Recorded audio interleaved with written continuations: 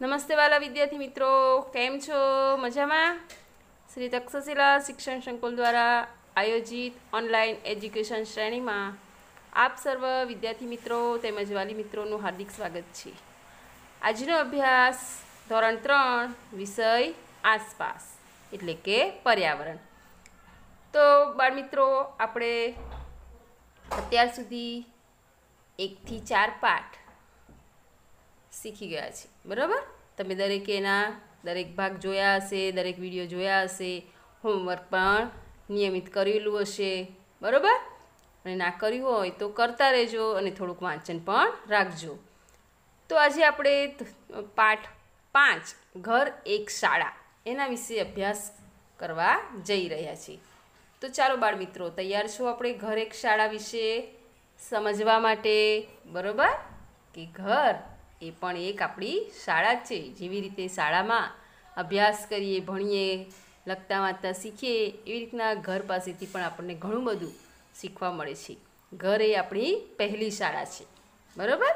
કે એમાંથી આપણને સંસ્કાર શીખવા મળે છે. વડીલોને માન આપવું, કેવી રીતે બોલવું, એ બધું જ આપણને એમાંથી શીખવા મળે છે. તો ચાલો આપણે ઘર એક શાળા વિશે આગળ અભ્યાસ જોઈએ.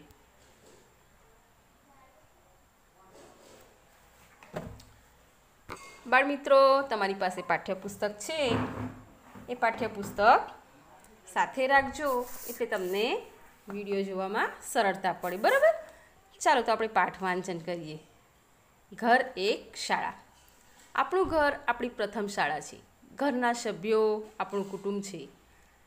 આપણે કુટુંબમાંથી ઘણી બધી વસ્તુઓ શીખીએ છીએ. આપણે બીજે ક્યાં, ક્યાંથી શીખીએ છીએ તેના કરતાં વધુ કુટુંબમાંથી શીખીએ છીએ, એટલે જ આપણે કુટુંબથી વધુ નજીક હોઈએ છીએ. ચાલો આપણે કુટુંબ વિશે વિચારીએ અને તેના વિશે વાતો કરીએ. કુટુંબના સભ્યો સાથેનો એક ફોટો, ચોંટાડો અથવા તો દોરો. તો બાળમિત્રો, આપણને ઉપરના ફકરામાં શું કીધું છે? ઘર વિશે આપણને સમજાવ્યું છે કે આપણું ઘર આપણી પહેલી શાળા છે, એટલે કે પ્રથમ શાળા છે, જેમાંથી આપણને ઘણા બધા સંસ્કાર શીખવા મળે છે અને ઘરના આપણા બધા જ સભ્યો એ આપણું કુટુંબ કહેવાય. બરાબર? આપણા ઘરમાં મમ્મી, પપ્પા, દાદા, દાદી, કાકા, કાકી બધા રહેતા હોય, એ બધા આપણા ઘરના સભ્યો છે અને આ સભ્યો ભેગા મળીને એક કુટુંબ બને છે. બરાબર? ઘરના દરેક સભ્યો ભેગા મળીને શું બને છે? કુટુંબ બને છે. બરાબર? તો આપણે કુટુંબમાંથી ઘણી બધી વસ્તુઓ શીખીએ છીએ કે કુટુંબમાં દરેક સભ્ય હોય, એ દરેક સભ્ય પાસે અલગ અલગ આવડત હોય છે. બરાબર? કે દાદા દાદી આપણને વાર્તા, વડીલોને માન કેવી રીતે આપવું, ઘરના સંસ્કાર, એ બધું આપણને શીખવાડે છે. કાકા, કાકી હોય તો આપણને લખતા, વાંચતા, આગળ અભ્યાસમાં મદદ કરે, આ બધું આપણને અલગ અલગ શીખવીએ છે. આપણે બીજે ક્યાંય, ક્યાંયથી શીખીએ તેના કરતાં વધુ કુટુંબમાંથી શીખીએ છીએ આપણા કુટુંબમાં જેવા સંસ્કાર હોય એવા આપણામાં આવે છે. એટલે કે આપણે બહારના કરતાં આપણા ઘર પાસેથી વધારે શીખીએ છીએ અત્યારે તમે દોઢેક વર્ષથી ઘરે છો, તો તમે તમારા ઘરમાંથી પણ ઘણું બધું શીખ્યા હશો, બરાબર? બહારના બહાર તો જવાનું હોય નહીં, એટલે ઘરમાં જેટલા સભ્યો હોય, એના પાસેથી કંઈક નવું નવું આપણે શીખીએ છીએ, સારું સારું શીખવાનું, બરાબર? ખોટું શીખવાનું નહીં. એટલે જ આપણે કુટુંબથી વધુ નજીક હોઈએ છીએ. આપણે ક્યાંક બહાર ગયા હોય, આપણને એકલા મૂક્યા હોય, હોસ્ટેલમાં રહેવા ગયા હોય, અથવા તો કોઈ સગાવાલાને ઘેર ગયા હોય તો ચાર પાંચ દિવસ થાય, અઠવાડિયું થાય, પછી આપણને આપણું ઘર યાદ આવે છે. બરાબર? કારણ કે આપણા સભ્યો પ્રત્યે આપણે લાગણી હોય છે. આપણે મમ્મી, પપ્પા વગર પણ રહી શકીએ નહીં. દાદા, દાદી ક્યાંક ગામડે ગયા હોય, તો પણ આપણને તેમની યાદ આવે છે. તો આપણે આપણા કુટુંબથી વધારે દૂર રહી શકતા નથી, તેમની નજીક જ રહીએ છીએ. બરાબર? તો ચાલો આપણે આપણા કુટુંબ વિશે વિચારીએ અને તેમના વિશે વાતો કરીએ. જો નીચે તમને એક ખાલી તમારા પાઠ્યપુસ્તકમાં, પુસ્તકમાં ખાલી જગ્યા આપેલી છે. એમાં તમારા કુટુંબનો કોઈ ફોટો હોય તો તમારે ચોંટાડવાનો છે. બરાબર? ના હોય તો નહીં ચોંટાડવાનો. પણ અહીંયા આગળ મેં તમારી સમજૂતી માટે એક ચિત્ર મૂકેલું છે આપણા પાઠ્યપુસ્તકનું જ છે. તમારી પાસે હોય તો તમારા કુટુંબનું તમે ચિત્ર લગાવી શકો છો. બરાબર? એમાં મમ્મી, પપ્પા છે, દાદી છે, બે, બહેનો છે. એનું ચિત્ર મૂકેલું છે. ચાલો તો હવે આપણે આગળ જોઈએ.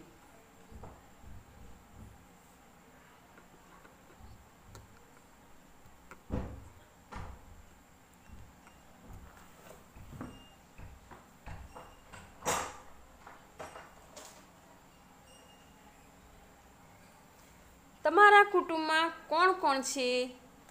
તેઓના નામ અને તેમનો સંબંધ લખો, બરાબર? તો બાળમિત્રો, તમારા કુટુંબમાં અહીંયા આગળ મેં જગ્યા એ માટે ખાલી રાખી છે. કારણ કે આમાં તમારે તમારું નામ બધાનું લખવાનું છે, તમારા કુટુંબનું નામ લખવાનું છે. બરાબર? પહેલાં તો તમારા કુટુંબમાં જે વડીલ વ્યક્તિ હોય તેનું લખો, તમારા મમ્મી પપ્પાનું લખો. એમાંથી લખવાનું છે, દાખલા તરીકે તમારા પપ્પા હોય, મહેશભાઈ હોય, કનુભાઈ હોય કે તમારા પપ્પાનું જે નામ હોય. બરાબર? પછી એમાં એક બીજા વ્યક્તિનું નામ લખવાનું. તો એમની સાથેનો શો સંબંધ છે? તો તમારા પપ્પા થતા હોય તો પપ્પાનો, મામા થતા હોય તો મામાનો, ફુવા થતા હોય તો ફુવાનો, એવી રીતના સંબંધના ખાનામાં એવું લખવાનું છે. બરાબર? ત્યાર પછી શું કહે છે કે દાદા હોય તો દાદાનું નામ અંબાલાલ હોય. તો અહીંયા આગળ સંબંધના ખાનામાં દાદા લખવાનું. પછી દાદીનું નામ લખવાનું છે. બરાબર? કે મીનાબા. તો એમાં દાદી લખવાનું છે. પછી મમ્મીનું નામ લખવાનું. તો તમારી મમ્મીનું નામ શું હોય? મિત્તલબેન હોય, સોનલબેન હોય રૂપલબેન હોય. તો એની સામે મમ્મી લખવાનું. પછી પપ્પાનું નામ ના આવે, પપ્પાનું લખી કાઢવાનું. પછી મોટી બેન હોય, તો એનું લખવાનું. ભાઈ હોય, તો ભાઈનું લખવાનું. અને છેલ્લે આપણા પોતાનું લખવાનું. બરાબર? તમારું જે નામ હોય, છોકરી હોય તો છોકરી પોતાનું નામ લખે, છોકરો હોય તો છોકરો પોતાનું નામ લખે. બરાબર? જો અહીંયા આગળ તમને હું એક ઉદાહરણ કરીને બતાવું કે અહીંયા આગળ જુઓ. મહેશ ભાઈ તો મહેશભાઈ કોણ છે? દાદા લખી દો. બરાબર? એવી રીતના તમારે લખવાનું. પછી મીના બા. તો દાદી. રૂપાબેન. તો મમ્મી. બરાબર? પછી રમેશભાઈ. તો પપ્પા. બરાબર? મમ્મી, પપ્પા, દાદા, દાદી આવી ગયા. હવે દીદીનું નામ લખો તો સોનલ. મોટી દીદી. પછી ઉમંગ. તો તમે પોતે. આવી રીતના બાળમિત્રો તમારે તમારા પાઠ્યપુસ્તકમાં નામ લખી તેમનો સંબંધ દર્શાવવાનો છે. બરાબર? ચાલો, તો હવે આપણે આગળ જોઈશું. તમારા કુટુંબના કોઈ પણ બે સભ્યો વચ્ચેનો સંબંધ લખો. જો અહીંયા આગળ તમને એક ઉદાહરણ આપેલું છે, બરાબર? સગપણ એટલે કે અહીંયા આગળ તમારા કુટુંબના બે સભ્યનું નામ, રમેશભાઈ લખ્યું ને રૂપલ લખ્યું. અને તે બેન કોણ છે? તો રમેશભાઈ એ રૂપલના મામા છે, એટલે મામા ભાણેજ. બરાબર? એના પછી તમે લખો કે દાદીનું લખો કે દાદાનું લખો નામ. બરાબર? તો તમે શું લખશો? અહીંયા આગળ લખશું જો અમિતભાઈ અને વર્ષાબેન. તો શું લખીશું? એ બંને કોણ છે? પતિ પત્ની એટલે કે તમારા મમ્મી પપ્પા. બરાબર? તમારે તમારા મમ્મી પપ્પાનું નામ લખવાનું, પછી પતિ પત્ની લખવાનું. પછી શું લખવાનું? તો તમારા દાદાનું નામ છે કનુભાઈ. તમારું નામ છે મયંક.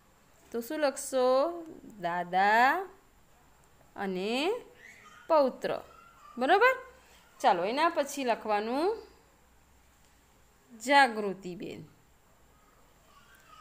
અને તમારું નામ લખી દો અથવા તમારી બેનનું નામ લખી દો. મયંક લખો અથવા મીતા લખો. તો શું લખવાનું? માતા, પુત્ર અને છોકરીનું નામ લખ્યું હોય તો પુત્રી. બરાબર? આ રીતનું તમારું સગપણ તમારે બતાવવાનું છે. સગપણ એટલે તમારે એની સાથેનો સંબંધ કે કોણ થાય. ચાલો, હવે આપણે આગળનું જોઈએ, વિચારો અને કહો. તો આમાં બાળમિત્રો, તમારે તમારું લખવાનું છે, બરાબર? કે તમારું લાડકવાયું નામ શું છે? કુટુંબના સભ્યો લાડથી તમને શું કહે છે? તમે તમારા કુટુંબના સભ્યોને કેવી રીતે બોલાવો છો? તો તમારું લાડકવાયું નામ લાલો હોય કે ટીનું હોય. બરાબર? એ તમારું લાડકવાયું નામ. પછી કુટુંબના સભ્યો તમને શું કહે છે? તો લાલો નામ હોય. તો લાલુ એવું કહીને બોલાવતા હોય છે. તમારે તમારું નામ લખવાનું. મુન્નો હોય કે મુન્ની હોય કે જે હોય એ લખવાનું છે. તમે તમારા કુટુંબના સભ્યોને કેવી રીતે બોલાવો છો? બરાબર? કુટુંબના સભ્યો આપણાથી મોટા હોય તો આપણે એમને માનથી બોલાવીએ છીએ. એટલે શું લખવાનું? માનપૂર્વક માનપૂર્વક બોલાવીએ છીએ. બરાબર? હમ. પાછળના પાન ઉપર આપેલા ચિત્રને સાવચેતીપૂર્વક જુઓ. અને ચિત્રમાં બે વ્યક્તિઓ સરખા જેવી દેખાય છે. ચાલો, તો આપણે પાછળનું ચિત્ર જોઈએ. એમાં સાવચેતીપૂર્વક જોતા તમને શું સરખું દેખાય છે? કોના બે ચિત્રો? બરાબર, આ બે ચિત્રો જોઈએ. તો તમને આમાંથી ચિત્ર જુઓ. બરાબર? આ ચિત્ર જુઓ. તો કોનું સરખું દેખાય છે? તો આ બંને છોકરીઓનું જુઓ. એમની આંખો, નાક, બરાબર? મોં. વાળ થોડાક ફેરફારવાળા છે, પણ મોં આપણે જોવાનું છે બંનેનું મોં સરખું દેખાય છે. તો તમારે શું કરવાનું? કે આ બંને બહેનોનું ચિત્ર એક સરખું દેખાય છે. બરાબર? તો આપણે શું લખીશું જવાબમાં? તમને પાછળના પાન ઉપર એવું કીધું છે કે પાછળના પેજ ઉપર ચિત્ર આપ્યું છે, તો તેના જેવા સરખા બે ચિત્રો કયા છે? કોના સરખા આવે છે? તો બંને બહેનોના ચિત્રો સરખા આવે છે, બરાબર? ચાલો, તો હવે આગળ જોઈશું આપણે. શું તમારી અને તમારા કુટુંબના સભ્ય વચ્ચે વાત કરવામાં, ચાલવામાં બોલવામાં, હસવામાં અથવા દેખાવની બાબતમાં સમાનતા છે, તો કોની સાથે છે? બરાબર? તો આપણને શું પ્રશ્ન કહે છે? કે તમારા ઘરમાં અથવા તમારા કુટુંબના કોઈ સભ્ય વચ્ચે વાત કરવામાં કે ભાઈ આ બંને વાતો કરે, સરખું છે, બોલવાનું સરખું છે, કોઈની ચાલવાનું સરખું હોય, હસવાનું સરખું હોય, તો કોની સાથે અને કેવી રીતે? તો મારા પપ્પા અથવા તો મારા મારા પપ્પાને મારી ચાલવાની બાબતો બંને સરખી છે. અથવા તો મારા પપ્પાનું બોલવાનું અને મારું બોલવાનું બંનેની બાબતોમાં સમાનતા છે. પછી કે છે મારી મમ્મી અને મારી બેન, બરાબર? બંને એક જેવા દેખાય છે અથવા એક જેવું હસે છે. દેખાવમાં સરખા હોય અથવા તો હસવામાં સરખા હોય, કામ કરવાની બાબતમાં સરખા હોય બરાબર? એટલે તમારા કુટુંબના કોઈ બે સભ્યનું કોઈ સમાનતા હોય, એ તમારે લખવાનું છે અહીંયા આગળ. શું લખશો તમે? મારું અને મારા પપ્પાનું. શું લખવાનું? મારું અને મારા પપ્પાનું. શેમાં? ચાલવામાં. ચાલવામાં સમાનતા છે બરાબર પછી કહેશે મારી બહેન અને મારી મમ્મી હસવાની બાબતમાં સમાન છે બરાબર આ રીતના તમારે તમારા કુટુંબનું લખવાનું છે. ચાલો હવે સલમાનના કુટુંબ વિશે જાણીએ. તો સલમાનના કુટુંબના વડીલ સભ્યો ધોબીનું કામ કરે છે. શું કરે છે તાલીમના? સલમાનના ધોબીનું કામ કરે છે. તો ચાલો આપણે આગળ જોઈએ. જો, અહીંયા આગળ કોનું કુટુંબ છે આ? સલમાનનું. બરાબર? તો તમને બધા કપડાં ધોતા દેખાય છે. સલમાનના કુટુંબના લોકોનું શું કામ છે? ધોબી કામ. ધોબી શું કરે? કપડાં ધોવે અને ઇસ્ત્રી કરે છે. બરાબર? તો ધોબીનું કામ પરીક્ષામાં પૂછાય કે ધોબી શું કામ કરે છે? તો ધોબી કપડાં ધોવે અને ઇસ્ત્રી કરવાનું કામ કરે છે. એના મમ્મી પપ્પા હોય. બરાબર? અને આ એના દાદી હશે. તો એ બધા કુટુંબના સભ્યો કપડાં ધોવામાં મદદ કરે છે. ચાલો આપણે અહીંયા આગળ જોઈએ. કુટુંબના સભ્યો કપડાં ધોવામાં, સૂકવવામાં અને ઇસ્ત્રી કરવામાં એકબીજાને મદદ કરે છે. સલમાન અને તેના કુટુંબી રસિક પણ સલમાનના કુટુંબ દ્વારા થતું આ કામ શીખે છે. જુઓ, બાળમિત્રો, આ લીટી યાદ રાખવા જેવી છે કે કુટુંબના સભ્યો, કોના? સલમાનના કુટુંબના સભ્યો કપડાં ધોવામાં, સૂકવવામાં અને ઇસ્ત્રી કરવામાં એકબીજાને મદદ કરે છે. પરીક્ષામાં પૂછાય કે સલમાનના કુટુંબના લોકો શું કામ કરે છે? તો સલમાનના કુટુંબના લોકો ધોબી કામ કરે છે. તેઓ એકબીજાને કપડાં ધોવામાં, સૂકવવામાં અને ઇસ્ત્રી કરવામાં મદદ કરે છે. તો એના જે કુટુંબી હોય, સગાવાલા હોય, તેનું નામ છે રફીક. એમના કુટુંબમાં કોઈ રફીક નામનો છોકરો છે, એ પણ સલમાનના કુટુંબ દ્વારા થતું આ કામ શીખે છે, એટલે કે ધોબી કામ શીખે છે. ચાલો નીચે આપેલું છે, યાદ કરો અને લખો.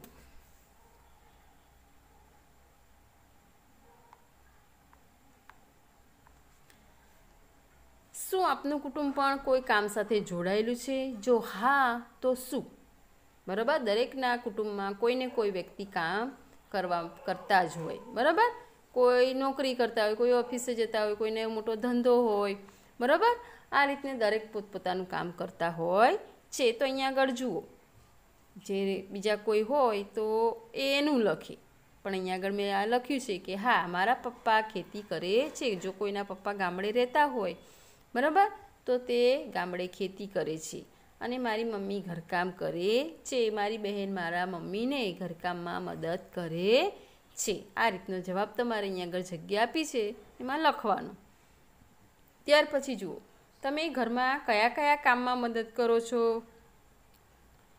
તો એનો જવાબ જોઈએ આપણે. ઘરમાં હું મારી મમ્મીને સફાઈ કામમાં મદદ કરું છું.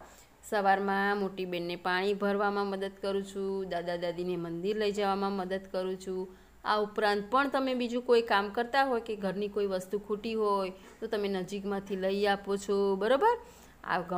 આવી રીતના તમે જે કામ કરતા હોય એ તમારે આમાં લખવાનું છે. મેં આ રીતનું લખ્યું છે. તમે પણ બીજું કોઈ કામ કરતા હોય તો તમે લખી શકો છો. ચાલો હવે આગળનું જોઈએ.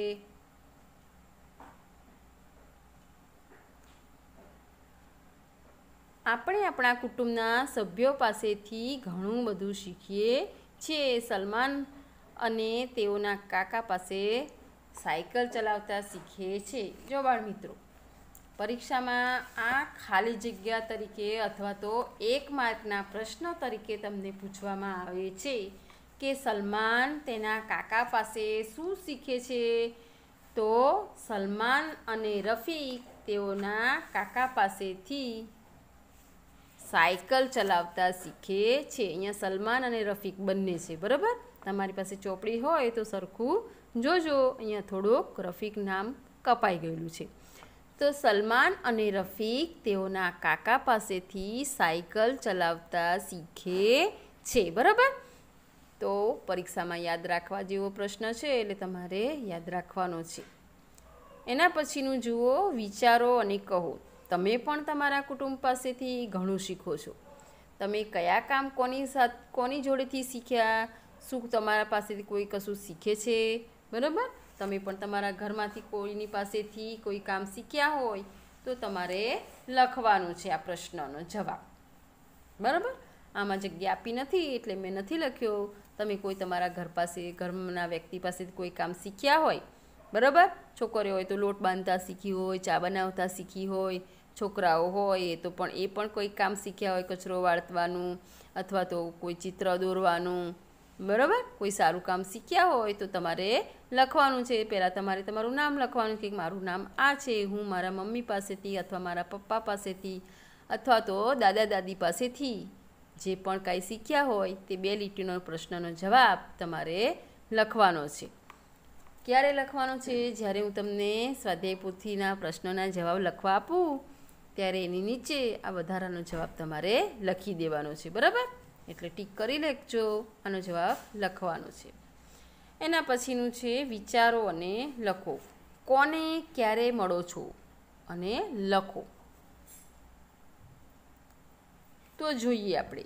જ્યારે ઉદાસ હોવ ત્યારે મમ્મી પાસે જાઉં છું, બરાબર? ઉદાસ હોય, કોઈ વસ્તુ આપણી ખોવાઈ ગઈ હોય, તૂટી ગઈ હોય, કોઈ વસ્તુ જોઈતી હોય અથવા તો તમને ઘરમાં ગમતું ના હોય, તમે ઉદાસ થઈ ગયા હોય, તો તમે ક્યાં જાઓ છો? મમ્મી પાસે જાઓ છો, બરાબર? ચાલો, એના પછી શું છે?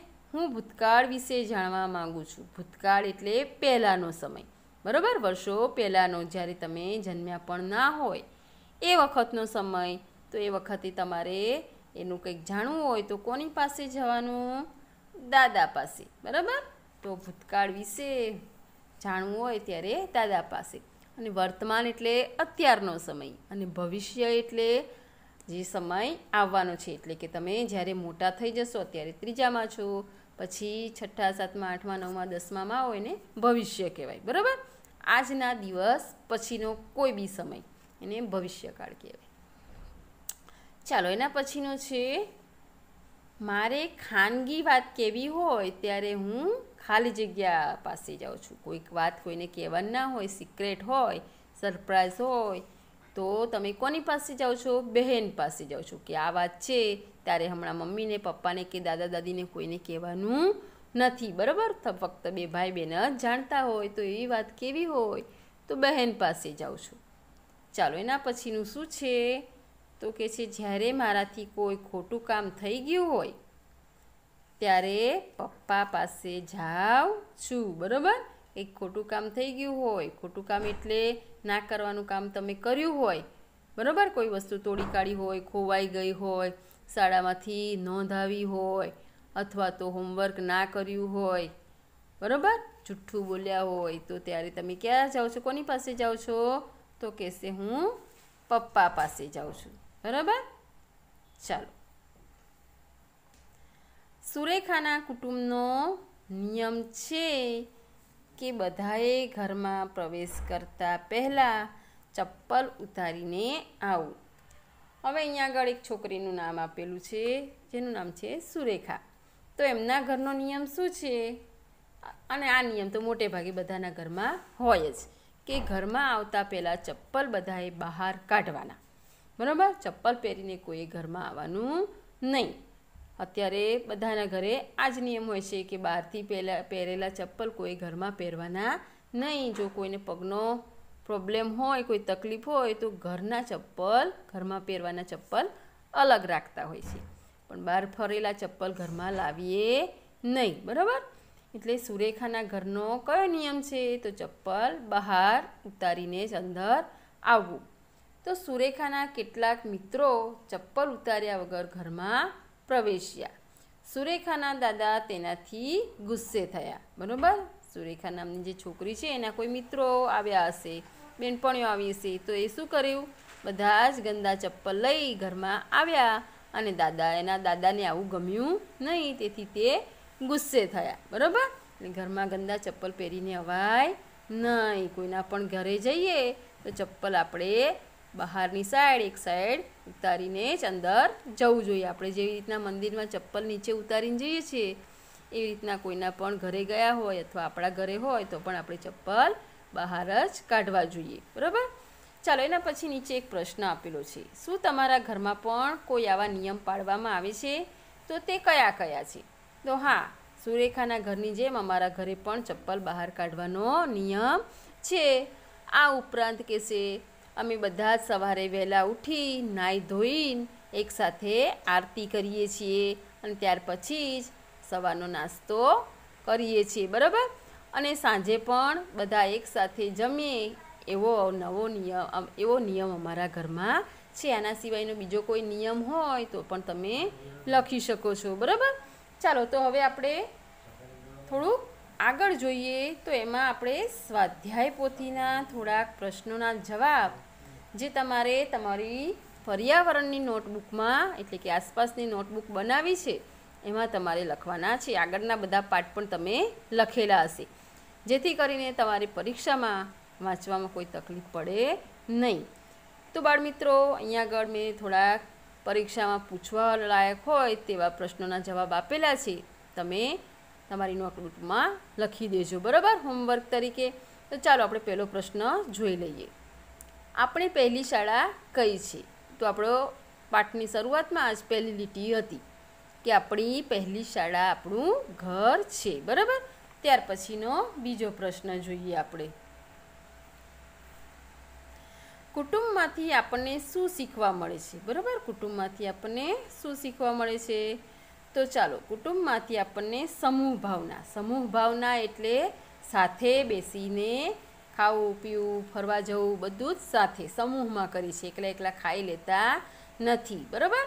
મદદરૂપ થવાની ભાવના. મદદરૂપ એટલે કોઈને ઘરમાં કોઈ કુટુંબને, કુટુંબના વ્યક્તિને જરૂર હોય, બરાબર? કોઈ કામમાં હોય, ક્યાંક જવું હોય, તો મદદરૂપ થવાની ભાવના. વડીલોને આદર અને માન આપવાનું શીખવા મળે છે કે મોટાને કેવી રીતે બોલાવવા?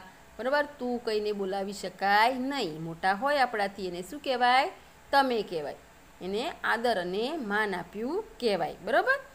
તો આપણને કુટુંબમાંથી શું શીખવા મળે છે? તો આપણને કુટુંબમાંથી સમૂહ ભાવના, મદદરૂપ થવાની ભાવના અને વડીલોને આદર અને માન આપવાનું શીખવા મળે છે. બરાબર? ચાલો, આ પરીક્ષામાં પૂછાય એવો છે પ્રશ્ન, એટલે યાદ રાખજો. એના પછીનો ત્રીજો છે.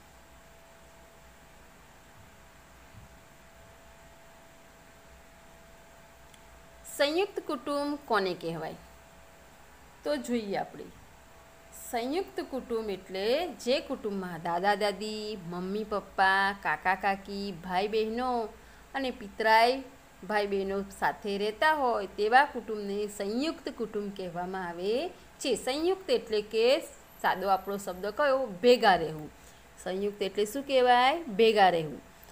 તો જે કુટુંબમાં દાદા, દાદી મમ્મી પપ્પા, કાકા કાકી, ભાઈ બહેનો અને પિતરાઈ ભાઈ બહેનો. પિતરાઈ ભાઈ બહેનો એટલે કાકા હોય, કાકી હોય, કાકા કાકીના અથવા મોટા મમ્મી પપ્પા હોય. બરાબર? મોટા મમ્મી પપ્પા હોય ને? એમના ભાઈ બહેનો એ હોય, એને આપણે પિતરાઈ ભાઈ બહેન કહેવાય છે. તો એ બધા સાથે રહેતા હોય, તેને સંયુક્ત કુટુંબ કહેવામાં આવે છે. બરાબર? ચાલો, હવે આપણે આગળ જોઈએ પ્રશ્ન નંબર ચાર. સલમાન અને રફીક વચ્ચે શો સંબંધ છે? તો સલમાન અને રફીક વચ્ચે પિતરાય ભાઈનો સંબંધ છે, બરાબર?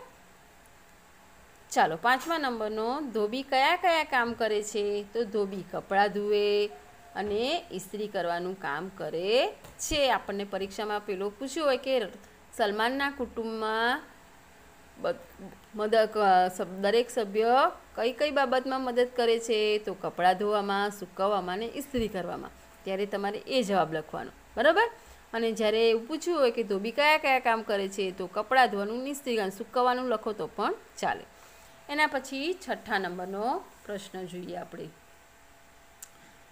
તમારા અને તમારા પપ્પાના પપ્પા વચ્ચે કયો સંબંધ છે? તો મારા અને મારા પપ્પા વચ્ચે, પપ્પાના પપ્પા વચ્ચે પૌત્ર અને દાદાનો સંબંધ છે, બરાબર? મારા અને મારા પપ્પાના પપ્પા, એટલે કે દાદા થયા આપણે, બરાબર? પપ્પાના પપ્પા શું થાય? દાદા થાય, અને આપણે એમના પૌત્ર, પુત્રના પુત્ર, એને પૌત્ર કહેવાય, બરાબર? તો તમારો અને તમારા પપ્પાના પપ્પા વચ્ચેનો સંબંધ કયો કહેવાય? દાદા પૌત્રનો. યાદ રહ્યું બાળ મિત્રો બરાબર? શેનો? પૌત્ર દાદાનો સંબંધ છે મારા અને મારા પપ્પાના પપ્પા વચ્ચે. ચાલો એના પછીનો આપણે જોઈએ સાતમા નંબરનો સવાલ. તમે ઘરમાં કયા કયા કામમાં મદદ કરો છો? તો ઘરમાં તમે જે કામમાં મદદ કરતા હોય એ તમે લખી શકો છો. ઘરમાં હું મમ્મીને સફાઈ કામમાં, બહેનને સવારમાં પાણી ભરવામાં, ભરવાના કામમાં, દાદા દાદીને મંદિર લઈ જવામાં તથા પપ્પાને ખેતરમાં પાડેલા પશુઓને ઘાસ નાખવામાં અને પાણી પાવામાં મદદ કરું છું. અત્યારે તો આપણે શહેરમાં રહીએ છીએ એટલે આપણે ખેતરમાં પાણી પાડેલા પશુઓને ઘાસ ઘાસ નીરવામાં અથવા ઘાસ ખવડાવવામાં મદદ ના કરતા હોઈએ. બરાબર? એના બદલે તમે ફૂલ છોડને પાણી આપવામાં બરાબર? એ પણ લખી શકો છો. અથવા તો મમ્મીને બજારમાંથી કોઈ વસ્તુ લાવવાની હોય તો તે લઈ આપવામાં મદદરૂપ થવ છું. આ તમે લખી શકો છો. આઠમા નંબરનો પ્રશ્ન, તમારા ઘરના કયા સભ્યને તે ખુશ હોય ત્યારે હસવાની આદત છે? તો ચાલો આપણે એનો જવાબ જોઈએ. મારા ઘરમાં મારા પપ્પા ખુશ હોય ત્યારે તેમને હસવાની આદત છે. તમે તમારા કુટુંબનું કોઈ બી સભ્યનું નામ લખી શકો છો. નવમો સવાલ, તમે ખુશ હોવ ત્યારે શું કરો છો? ચાલો, આનો જવાબ પણ તમે તમારો લખી શકો છો કે તમે ખુશ હોવ ત્યારે તમે શું કરો છો? મોટાભાગના છોકરાઓ જો ખુશ હોય ત્યારે દીદી સાથે મળીને ગીતો ગાઓ. અથવા તમારો નાનો ભાઈ હોય, મોટો ભાઈ હોય તેની સાથે મળીને ગીત ગાય છે અથવા કાર્ટૂન જોવે છે, ડાન્સ કરે છે, તેમજ મિત્રો સાથે વિવિધ રમતો રમી. આનંદ માણું છું, બરાબર? કોઈ વાતની ખુશી હોય, આનંદ હોય, તો તમે શું કરો છો? કે મોટેથી ગીતો ગાઓ છો, રેડિયો વગાડો છો ટીવી જુઓ છો, ડાન્સ કરો છો, મિત્રો સાથે વિવિધ રમતો રમી, આનંદ કરીએ છીએ. ચાલો, એના પછીનો દસમા નંબરનો સવાલ જોઈએ આપણે. આ સવાલ થોડો મોટો છે. પણ એકદમ જ સહેલો છે. ચાલો તો આપણે જોઈએ. ઘરના વડીલો નાના હતા ત્યારે શું શું કરતા હતા? ઘરના વડીલો એટલે કે પપ્પા, એમના પપ્પા એટલે કે દાદા, બરાબર? એ બધા જ્યારે નાના હતા ત્યારે શું કરતા હતા? તો ઘરના વડીલો નાના હતા ત્યારે એટલે કે મારા દાદા નાના હતા. તમારા દાદા નાના હતા ત્યારે શું કરતા હતા? તો તેઓ તેમના પપ્પાને ખેતી કામમાં ખેતીના કામમાં મદદ કરતા હતા. સવારે ખેતરમાં જવાનું, પાળેલા પ્રાણીઓને ઘાસ પૂડો આપવાનું, પાણી પાવાનું અને પાકને પાણી આપવાનું કામ કરતા હતા. બરાબર? ચલો, એક વાક્ય યાદ રહ્યું કે તમારા પપ્પાના પપ્પા એટલે કે મારા દાદા નાના હતા ત્યારે તેઓ તેમના પપ્પાને ખેતરમાં પાડેલા ખેતર, ખેતીના કામમાં મદદ કરતા હતા. તેમના પાળેલા પશુઓને ઘાસ પૂડો આપવાનું અને ખેતરના પાકને પાણી પાવાનું કામ કરતા હતા.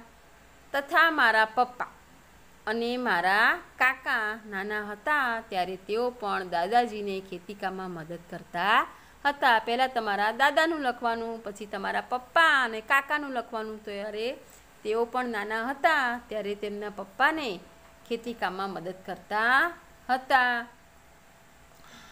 મારા પપ્પા, મારા દાદાજીને ઘરકામમાં પણ મદદ કરતા હતા. જ્યારે નાના હતા, ત્યારે તમારી જેમ ઘરકામમાં પણ મદદ કરતા હતા. તમારી બહેન ના હોય તો તમારે પણ મદદ કરવી જોઈએ. મમ્મીને વાસણ લૂસવામાં, ગોઠવવામાં, બરાબર? કચરો વાળી આપવામાં, એ બધા કામમાં મદદ કરવી જોઈએ. તો તેઓ ઘરનું પાણી ભરતા હતા, કચરો કચરાપેટીમાં નાખવા જતા હતા અને ઘરની ચીજવસ્તુઓ લાવવામાં મદદ કરતા હતા, બરાબર? શાક માર્કેટમાંથી કોઈ વસ્તુ લાવવાની હોય, દુકાનમાંથી, બરાબર? અથવા તો ડેરીમાંથી દૂધ કે દહીં, છાશ કશું લાવવાનું હોય, તો તે લઈ આપતા હતા. આ બધું કામ પણ તમે લખી શકો છો. ચાલો એટલા દસ પ્રશ્નોના જવાબ તમને યાદ રહી ગયા છે એકદમ સહેલા જ છે. તમારા કુટુંબ વિશે લખશો એટલે તમને સહેલા લાગશે. તો બાળમિત્રો, આ દસ પ્રશ્નો પણ તમારે તમારી નોટબુકમાં સુંદર અક્ષરે લખવાના છે. ત્યાર પછીનો આપણા ટૂંકા પ્રશ્નો એટલે કે વિકલ્પો જે પરીક્ષામાં આવી શકે છે, બરાબર? તો અહીંયા આગળ સ્વાધ્યાય પોથી તમારી પાસે નથી એટલે દરેક પાઠના વિકલ્પો ખાલી જગ્યાઓ અને ખરા ખોટા હું તમને લખાવી દઉં છું. એટલે તમારે વાંચન કરતું રહેવાનું અને તમારી નોટબુકમાં લખતું રહેવાનું, બરાબર? તો જોઈએ આપણે નીચેના પ્રશ્નના ઉત્તર માટે આપેલ વિકલ્પોમાંથી સાચો વિકલ્પ શોધીને તેનો ક્રમ અક્ષર પ્રશ્નની સામે આપેલ ચોરસમાં લખો. અગાઉના પાઠમાં જે રીતે આપણે લખતા હતા, ક્રમ અક્ષર અબ કડ જે સાચું આવતું હોય તે તમારે યોગ્ય વિકલ્પ પસંદ કરી તેમાંથી લખવાનું છે. તો પહેલો વિકલ્પ છે, કુટુંબમાં નીચેનામાંથી કઈ જોડી હોય છે? કુટુંબમાં નીચેને આપી છે જોડી, એમાંથી કઈ જોડી તો હોય જ છે? તો માસા માસી આપણા કુટુંબમાં માસા માસી આવે, ના આવે. બરાબર? મમ્મી, પપ્પા તો હા, કુટુંબમાં પહેલાં મમ્મી, પપ્પા અને દાદા, દાદી તો હોય, ઘણાના દાદા, દાદી ના હોય, પણ મમ્મી, પપ્પા તો સાથે જ રહેતા હોય. પછી મામા, મામી. તો મામા, મામી પણ ના રહેતા હોય ફોઈ ફુવા પણ ના રહેતા હોય. ઘણા કુટુંબમાં કોઈ કારણસર કદાચ રહેતા હોય, પણ મમ્મી, પપ્પા તો રહેતા જ હોય. એટલે આપણે જવાબમાં શું લખીશું? ક્રમ અક્ષર બ લખીશું, બરાબર? અહીંયા આગળ આપણે ચોરસમાં બ લખવાનો. પપ્પાના પપ્પાને શું કહેવાય? સરસ. આ તો એકદમ સહેલું છે. અ, બરાબર? શું આવશે ક્રમ અક્ષર અ. મમ્મીના ભાઈને શું કહેવાય? તો મમ્મીના ભાઈને મામા કહેવાય, બરાબર? ચાલો. એના પછીનું આપણે આગળ જોઈએ. તમારા પપ્પાના બહેન તમારે શું થાય? પપ્પાના બહેન, બરાબર? તમારા પપ્પા હોય ને એમની બેનને તમે શું કહો છો? તો ફોય કહીએ છીએ. શું કહીએ છીએ? ફોય એટલે ક્રમ અક્ષર ડ લખવાનું. ચાલો, એના પછીનો પાંચમા નંબરનો વિકલ્પ આપણે જોઈશું. આપણે કુટુંબમાં કોને સન્માન આપીએ છીએ? તો આપણે કુટુંબમાં નાના ભાઈને સન્માન ના આપતા હોય, બરાબર? નાની, બહેનને પણ ના આપતા હોય, મિત્રને પણ ના આપતા હોય, પણ કોને આપીએ છીએ? સન્માન એટલે માનથી બોલાવીએ છીએ કે જે છે વડીલો. બરાબર? તો શું લખીશું ક્રમ અક્ષર બ? બરાબર? ચાલો, એના પછીનું જુઓ. સલમાનનો પરિવાર કયો ધંધો કરે છે? તો સલમાનનો પરિવાર ધોબી કામ કરે છે એટલે આપણે ક્રમ અક્ષર કયો લખીશું, ક લખીશું, બરાબર? ચાલો, સાતમા નંબરનું કુટુંબમાંથી આ બાળકને કઈ ભાવના શીખવા મળે છે? નફરતની, જુદાપણાની ઈર્ષા કરવાની, આદર કરવાની? તો કહેશે, આદર કરવાની, બરાબર? નફરત, એટલે કોઈની સાથે ના બોલવું, ગુસ્સો કરવો એને નફરત કહેવાય. જુદાપણાની જુદાપણાની એટલે અલગ અલગ રહેવાની. ઈર્ષા કરવાની એટલે કોઈનું સારું થતું હોય તો આપણને ના ગમે ને ઈર્ષા કહેવાય. અને આદર, એટલે માનપૂર્વક બોલાવવું બરાબર? તો અહીંયા આગળ શું આવશે ક્રમ અક્ષર ડ. ચાલો, હવે પ્રશ્ન નંબર એના પછીનો. યોગ્ય શબ્દ વડે નીચેના વિધાનોની ખાલી જગ્યા પૂરો. દાદા, દાદી, મમ્મી, પપ્પા, કાકા, કાકી, ભાઈ, બહેનના સમૂહ જીવનને ખાલી જગ્યા કહેવાય. તો શું કહેવાય સમૂહ જીવનને? કુટુંબ કહેવાય. બરાબર? બધા સાથે રહેતા હોય તેને સમૂહ જીવન કહેવાય. મમ્મીના બહેનને માસી કહેવાય. સલમાનના કાકાએ કુટુંબના બાળકોને ખાલી જગ્યા ચલાવતા શીખવી મેં તમને પાઠ ચલાવ્યો ત્યારે કીધું હતું કે સલમાનના કાકાએ કુટુંબના બાળકોને શું શીખવાડ્યું? તો સાયકલ ચલાવતા. બરાબર? બંને ભાઈને રફીકને અને સલમાનને. અહીંયા આગળ એકનું નામ લખ્યું હોય તો પણ સાયકલ લખવાનું, બંનેના નામ લખ્યા હોય તો પણ સાયકલ લખવાનું. ચોથા નંબરની ખાલી જગ્યા જોઈએ. જૂતા બહાર ઉતારીને આવવું એ કોના ઘરનો રિવાજ છે? તો કે છે સુરેખાનો. આપણે પાઠમાં જોયું ને, સુરેખાના ઘરમાં. એના દાદા ગુસ્સે થયા હતા, એના મિત્રો જ્યારે ચંપલ પહેરીને આવ્યા ત્યારે. તો ખાલી જગ્યામાં શું લખવાનું? સુરેખા. પપ્પાના નાના ભાઈને શું કહેવાય? પપ્પાના નાના ભાઈને કાકા કહેવાય. બરાબર? ખબર છે ને તમે દરેક કાકા કહેતા હશો તમારા પપ્પાના નાના ભાઈને. ચાલો, એના પછીનું તમારા કુટુંબમાં સૌથી વડીલ વ્યક્તિ ખાલી જગ્યા છે. સૌથી વડીલ વ્યક્તિ એટલે સૌથી મોટું કોણ છે? તો કહેશે દાદા છે. બરાબર? કોણ છે? દાદા. સાતમા નંબરની ખાલી જગ્યા નાનું કુટુંબ, સુખી કુટુંબ કહેવાય. બરાબર? બહુ મોટું કુટુંબ હોય તો એ સુખી ના કહેવાય અને દુઃખી પણ ના કહેવાય. સુખી કેમ ના કહેવાય? તો કે ઘરના સભ્યો બહુ બધા હોય અને કોઈ વસ્તુ લાવ્યા હોય ત્યારે તમારી પાસે પૈસા ઓછા હોય, તમારી આવક ઓછી હોય તો ઘરના દરેક સભ્યોને જરૂર જરૂરિયાત સંતોષાય નહીં. એટલે જે વસ્તુની જરૂર હોય તે સરળતાથી મળી શકે નહીં. જેમ કુટુંબ નાનું, તેમ તમે સુખીથી, બધું શાંતિથી, જરૂરિયાતપૂર્વક મેળવી શકો છો. એટલે નાનું કુટુંબ સુખી કુટુંબ કહેવાય. ચાલો પ્રશ્ન નંબર ત્રણ. એમાં જુઓ, નીચેના વિધાનોમાંથી સાચા વિધાનો સામે સાચાની અને ખોટા વિધાનો સામે ખોટાની નિશાની કરો એટલે કે ખરા ખોટા, બરાબર? ચાલો આપણે જોઈએ. પહેલું છે ખરું ખોટું, એમાં મોટા કુટુંબમાં ઘણી જ અગવડતા પડે છે. હમણાં તમને સમજાવ્યું તે પ્રમાણે જેમ કુટુંબ મોટું, સભ્યો વધારે, તેમ અગવડતા. એટલે કે ઘણા બધા સભ્યો હોય ઘરમાં, આઠ દસ વ્યક્તિ હોય અને બાથરૂમ સંડાસ એક જ હોય, તો પણ દરેકને બરાબર નાવા ધોવામાં, સંડાસ જવામાં અગવડતા પડે છે. બે જણને એક સાથે જવાનું હોય, બે બરાબર કામ પર શાળાએ જવાનું હોય તો બધાનો સમય સાચવવો પડે છે, એટલે એ અગવડતા પડે છે. તો આ વિધાન શું થશે? સાચું થશે. અગવડતા એટલે કે મુશ્કેલી. બીજા નંબરનું કુટુંબ એટલે જ મમ્મી, પપ્પા અને ભાઈ બહેન ના, એવું ના હોય. નાનું કુટુંબ હોય તો મમ્મી, પપ્પા અને ભાઈ બહેન હોય.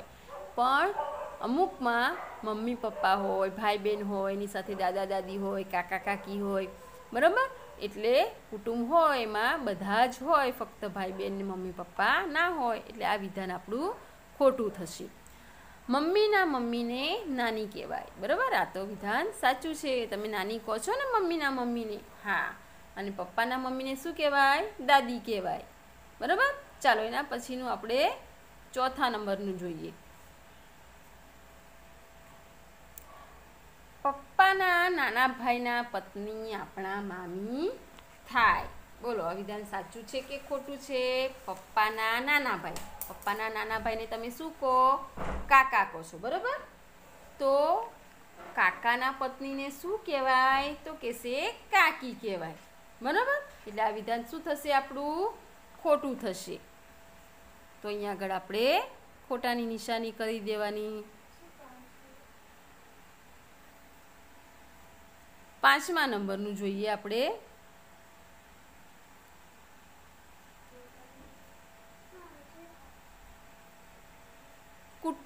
આપણને આદરની ભાવના શીખવાડે છે. તો આ વિધાન સાચું છે, બરાબર?